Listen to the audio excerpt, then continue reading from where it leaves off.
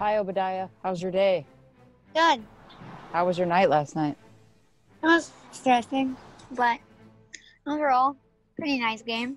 You think it was a nice game? No, it was a horrible game. What went wrong last night? The Vikings lost, and I had to watch it.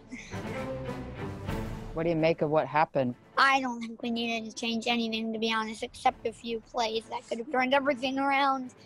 But besides that, I feel like it was just an all-out amazing game. Even though I'm super depressed right now, because now we're one and four. Yeah, one and four is not super. No, not at all. Hydrate.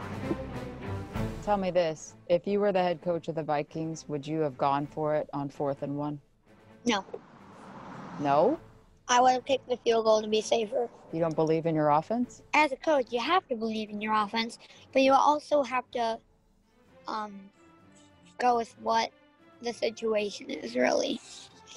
And I feel like they did not do that. I feel like they went for the biggest decision, which wasn't the smartest, and it ended up in the loss of a game.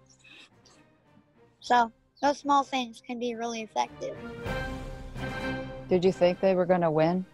I had high hopes, like every game. How do you still have high hopes? Because the Vikings are a weird team. They're like the Minnesota weather. One day it could be 80 degrees, the next day it could be 50 degrees and rainy. What you're saying is they're a bit unpredictable. Exactly. They're one and four, but they've been doing well. Like, that's a weird situation, you know? So, How can you be doing well at one and four? listen, we have good players. We're a good, strong team, but we're not showing that good, strong team in a way that people can go, wow, these people are doing well. We're doing well, but we're one and four, which is not a wow factor. How do we have that bad of luck? To be honest, I have no idea. Like, that's a mystery to me. Like, the mystery of why the Vikings do what they do. Alexander Mattison What? not throwing away his shot.